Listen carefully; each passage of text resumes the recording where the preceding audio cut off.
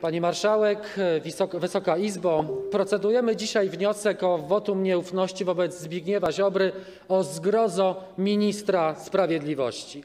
Bardziej trafne byłoby nazwanie tego resortu pod rządami Ziobry Ministerstwem Niesprawiedliwości, Ministerstwem Bezprawia albo Ministerstwem Kolesiostwa, a już najpełniej Centralnym Ośrodkiem Zbierania Haków na Opozycję i tzw. przyjaciół z PiS-u. Przyjrzyjmy się, jak działa sprawiedliwość pod rządami orłów prawniczych spod znaku ministra zero. Gdzie nie przełożysz ucho, tam bezradność, niekompetencja i zapaść. Usprawnienie procesów sądowych - zero. Przyspieszenie procedur prokuratury - zero. O, przepraszam, przepraszam. Turboprędkość i sprawność, jeśli trzeba uruchomić machinę przeciwko niewygodnym politykom i niepokornym obywatelom, a zwłaszcza obywatelkom. Tańsze postępowania sądowe, tak aby były dostępne dla obywateli? Zero. Pomoc ofiarom przestępstw? Zero. A co mamy?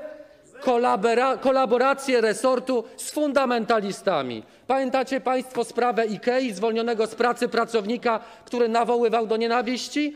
Nasza dzielna prokuratura zamiast walczyć z nienawiścią i dyskryminacją ściga kogo? Kadrową z Ikei. Tak, prokuratura dzisiaj obstawia sądy pracy, bo już przecież dawno złapano wszystkich złodziei, alimentarzy czy sprawców przemocy domowej. Takie mamy standardy pod, w państwie Ziobry. Tak, proszę Państwa, ta prokuratura to jest polityczne narzędzie. To jak zapałki w rękach piromana.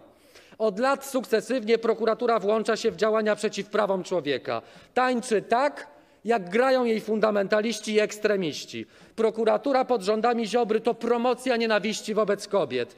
Nie tak dawno rozesłano do prokuratur instrukcje w sprawie ścigania przerywania ciąży. Przygotowane przez kogo? Ordo Juris. Tak, proszę Państwa, prywatną fundację, której macki dyrygują polskim wymiarem sprawiedliwości.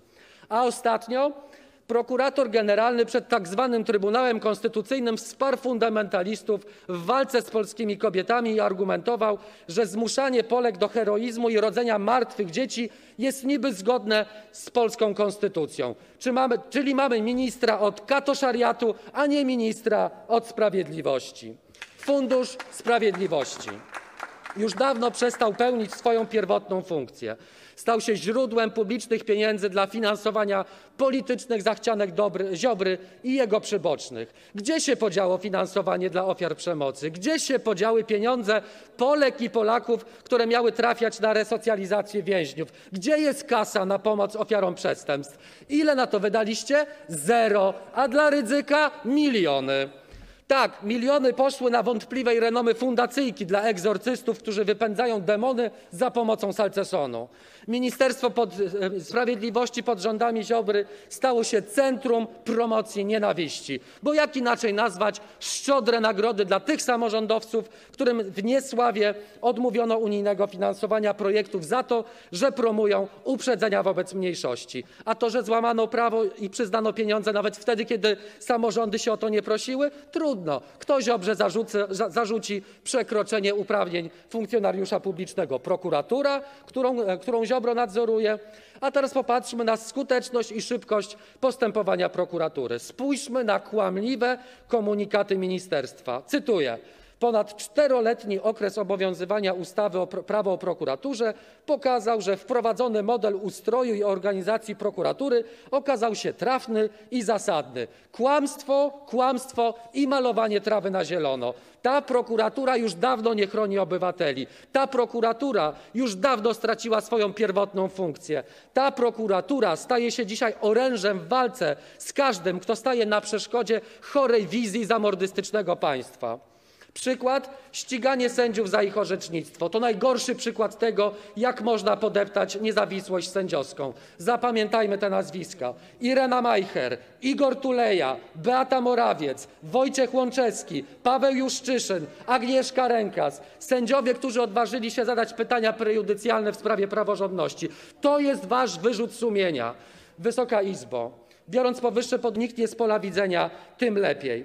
Ale i tak wiemy, że pana koledzy nie, dadzą panu, przepaść. I niezależnie od tego i od tej skali pana podłości, niekompetencji, pewnie już czeka tysiące Polaków. Już Panie kończę, pani marszałek. przekroczył pan czas, Tysiące. Polaków od kilku dni na ulicach już wam mówią, co macie zrobić. Przeproście i już sami wiecie co. Dziękuję, bardzo, panie pośle i bardzo proszę pilnować czasu.